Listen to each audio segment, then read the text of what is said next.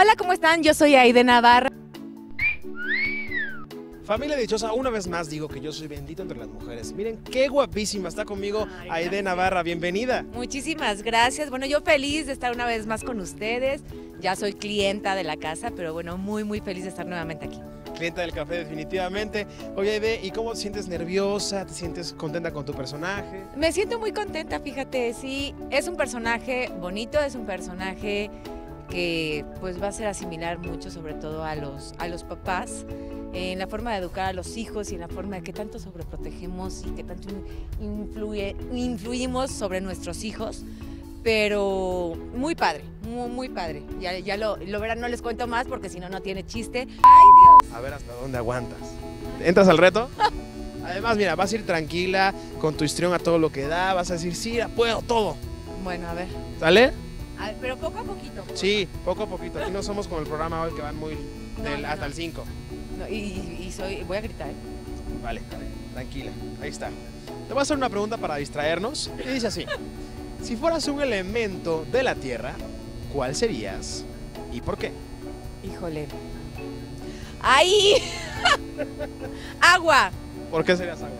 Eh, pues no sé por qué, en qué número voy. Pero me gustó mucho el personaje. Digo, obviamente, pues siempre te dan los, los nervios, pero los nervios de emoción de interpretar a alguien más, a un personaje nuevo. Y yo estoy muy contenta con Alba. Totalmente, perfecto. Pues sabemos que va a ser un capítulo extraordinariamente bonito. Y ahora quiero preguntarte, pasando a otro asunto, ¿de qué manera tú te conectas con la naturaleza? Híjole, pues trato de hacer ejercicio, mucho ejercicio al aire libre.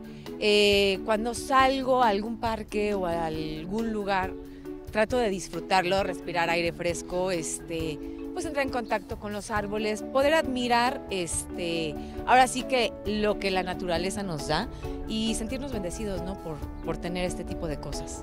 El uno y medio. Ay, bueno, está bien. Este, no sé, me gusta la transparencia del agua, ¿no? Y creo que es algo, ay, es algo que me gusta, ¿no? Como tanto ver la transparencia de la gente como que la gente vea la transparencia en mí. Y te identificas con el agua también. Exactamente, Miguel. Si lleva cosas malas, Exactamente. la corriente. Sí, ya me estoy acostumbrando. ¿Tú ves cuando ya le ¿En baje? qué número voy? ¿Tres? Bien. Dale. Ah, ¿te gustó? ¿Has hecho algún ejercicio de electroshock? No, nunca. Estás totalmente en lo cierto. Y por eso te voy a hacer una pregunta respecto al reino animal. Conocimientos del reino animal. Fíjate bien, dice así. Las jirafas pueden limpiar sus orejas con A. Ramas de los árboles, con sus patas, con su lengua o ayudada de ciertas especies de aves. Eh, con su lengua.